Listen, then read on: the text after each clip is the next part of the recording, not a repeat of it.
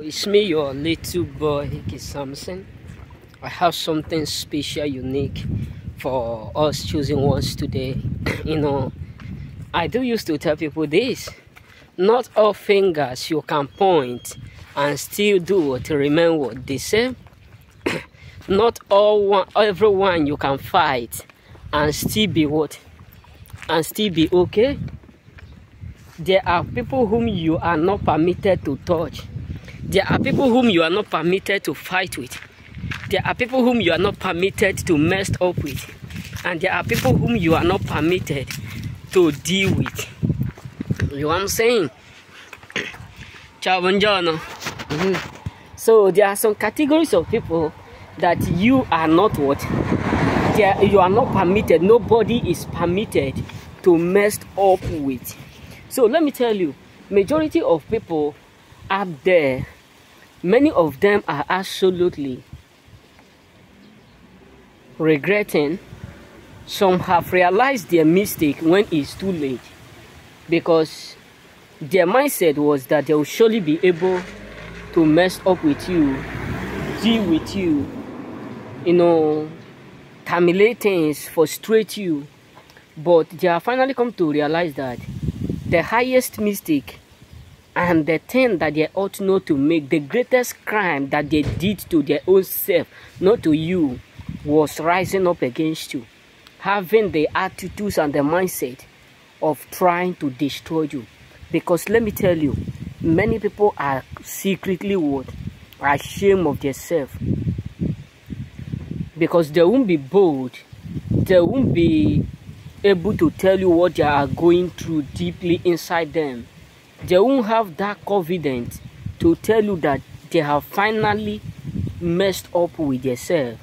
They have finally realized the, the errors that they have did. Because believe me, choosings, many people have messed up. Ciao, buongiorno. Mhm. So many people have messed up within that today they are regretting it because their thought was that they will surely be able to deal with you, surely be able to peel you down, surely be able to terminate things, surely be able to do you things that you never even dream that you will encounter. But right now, they are immersed. Yes, believe me, chooses. Majority of people out there are now absolutely immersed. They have put themselves in that situation that they are regretting right now. Because many people never in their lifetime believe that they will one day regret of what of messing up with you. Many people never believe that one day they will regret of coming against you. One day they will regret why they do it, why they taught you. Majority of people out there never believe that one day they will regret of trying to hurt you, trying to destroy you. Because everything is shocking them. Every single thing is absolutely shocking them. They are indeed shocked. Majority of people out there are absolutely indeed shocked. Because what they meant for evil, what they thought will destroy you, what they thought will sabotage you, what they thought will damage you, is something that God is now using to elevate you.